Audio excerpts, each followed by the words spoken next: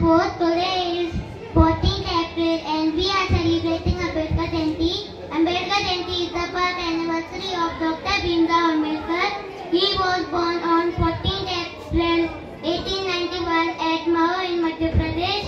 He is known as the father of the Indian Constitution. He always worked for the equality of all the Indians. He died on 6th December 1956.